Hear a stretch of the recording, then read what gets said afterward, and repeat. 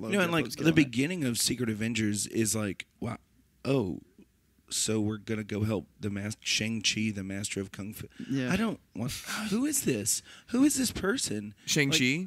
I mean, I I understand. He's the master of kung fu. He's the man. Thank. You just answered your own question. dick. Stupid.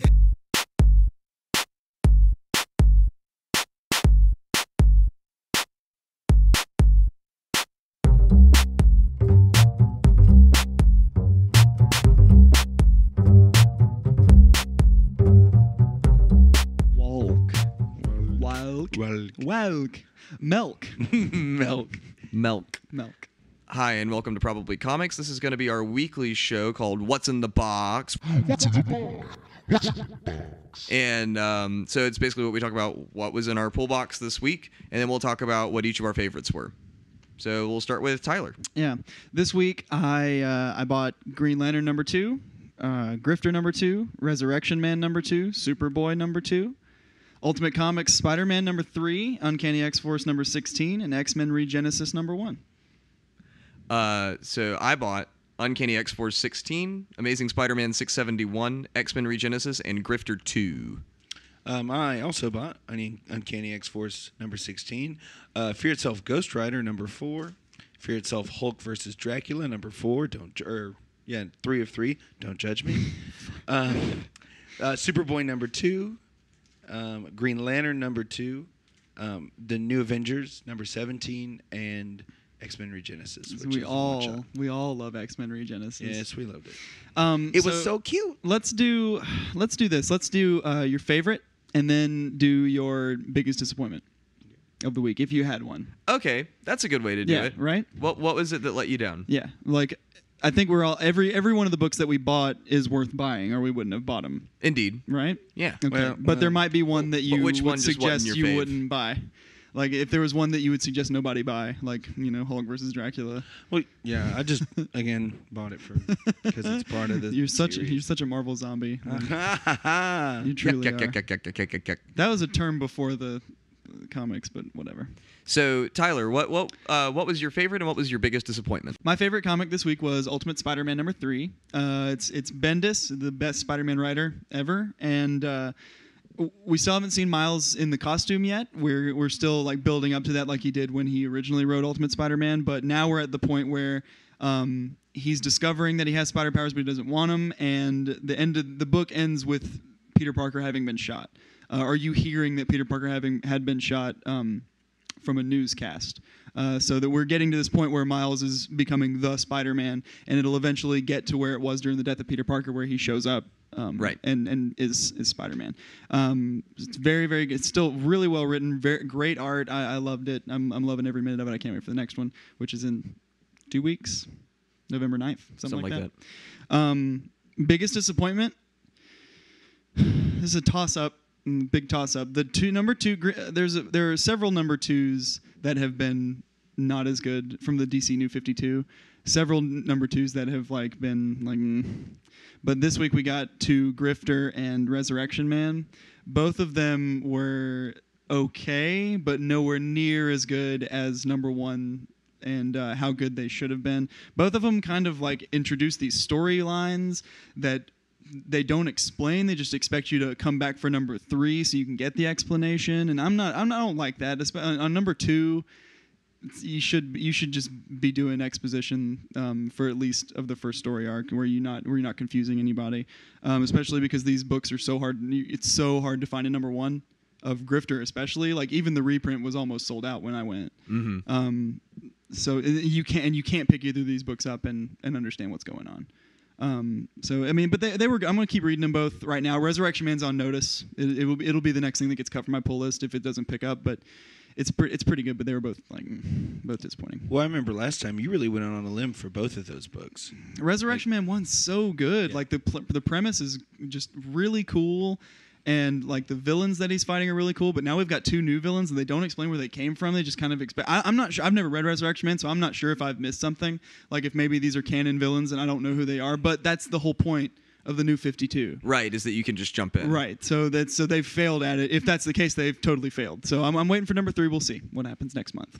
Okay. Um, my fave was X Force number 16. Uh, part six of the Dark Angel saga. Um. I'm a Remender freak. I love Rick Remender. Yeah. Um, but it was cool to see uh, Deadpool a little more focal. Um, I think I think Remender doesn't really write a whole lot for Deadpool, and I think this issue you really got him more. I think this in the last issue both.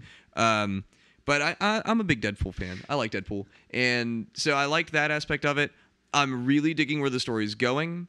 It wasn't as action packed as I probably would have liked.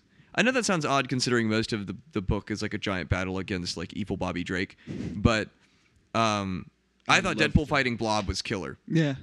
Favorite favorite moment of the book. Although there was kind of like a uh, Deus Ex Machina there. Yeah, a little bit. Um, but I'd say biggest disappointment of the week was Grifter Two.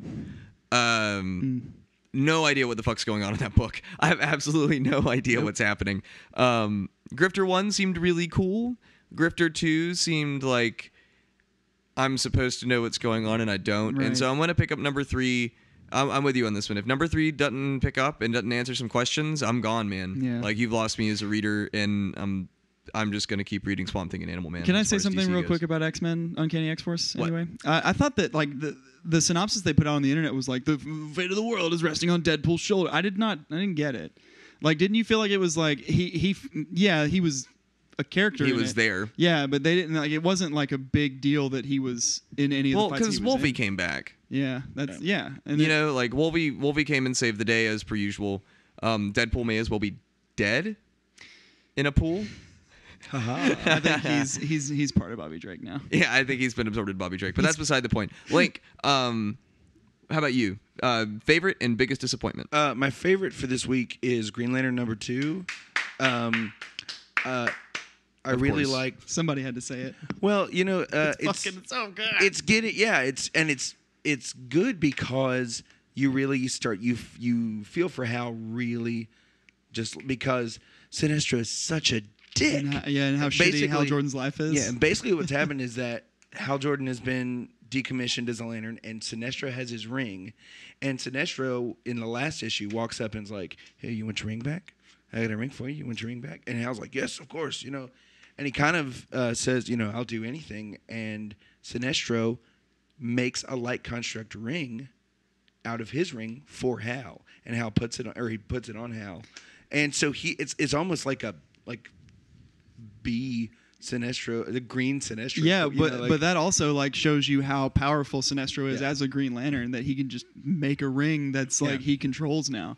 and so he yeah, and so Hal has all his powers except for anything Sinestro doesn't want him to do. Yeah, like Right. Sinestro can just turn his ring off. And so there's a there's a point where there's you know people are dying, you know, falling off of a bridge, and Hal's you know Sinestro cuts the ring off, Yeah, and he's like, you know, let me like he's screaming, he's losing it, let me help these people, and so you know, uh, I'm hoping eventually that Hal will have a full on ring, and you know, and I'm I'm sure that's the case, um, but also you know it it's gonna push because at the end of the the book, the the Sinestro Corps come after Sinestro because he's a traitor. yeah. As a Green Mhm. Lantern, he's a traitor. They to- took to- they've taken over his homeworld, right? Yeah, yeah, they have uh, enslaved Korugar. And so he was like the the whole thing is that Sinestro is in, enlisting Hal Jordan to come back with him to Korugar To save Korugar. to destroy the Sinestro Corps, and then he'll give him his ring back because he doesn't Well- want to be. He do, well, he didn't say that exactly, but he doesn't want to be a Green Lantern. Uh, I I would assume not. It's- he doesn't seem like someone. Ooh, who, it's good. Geoff Um, Johns. And my my biggest disappointment of the week is a toss up between uh, the, the two Fear Itselfs that I just kind of had to buy because they were Fear Itselfs, and I've bought in, so I'm in for the long haul. Uh, They one got of the- you. One of which no, they got got, you. me. No, they got me, and I Pan- ho- pan- I hope that we get more listenership just for people wanting to laugh at my ass.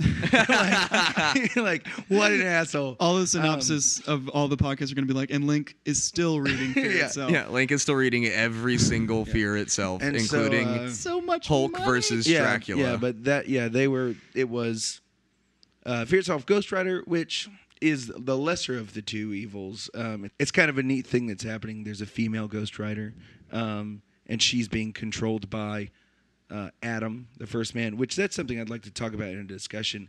How Marvel is really good at tying in mythologies of other people, whether it's the Norse mythos. That's why I don't like it. Oh. But I mean, to each his own. I mean, but I think it's just kind of fun that like every almost every mythological creature ever or Yeah. or character has a Marvel counterpart. True. And that includes Adam, the first man in the Christian mythology. Uh, Is uh is Eve the first woman on there anywhere? uh, she's not, but I, I expected her to to Mm. show up. And then there was Fear itself, uh, Hulk versus Dracula, which was yeah. yeah, yeah. Why? Why? It sounds like why? the, the worst episode of True Blood ever. Yeah, it was uh, man.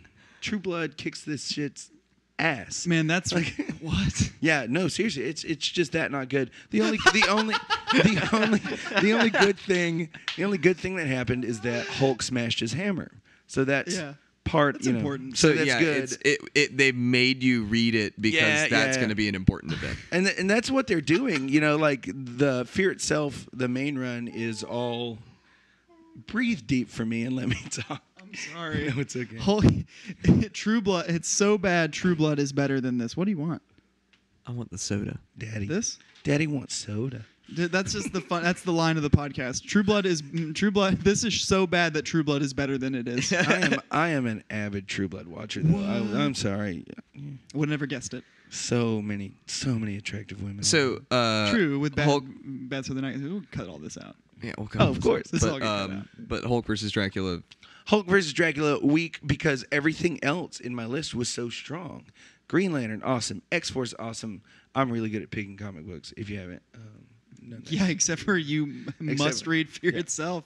Uh, New Avengers cool because Norman Osborn's coming back. But so- Superboy. yeah. So wait, Superboy, is, is great. is like the Hammer Initiative coming back? Like all Yes. like the He sort of like bring- Dark it's, Avengers It's thing? not. It's not the Hammer Initiative. It's his because it's they're not government. It's not the Mhm. U.S. government. This is hammered. I This think is the his- next. I think the next discussion show. I want to talk. I want you to lay down Avengers um, canon for me.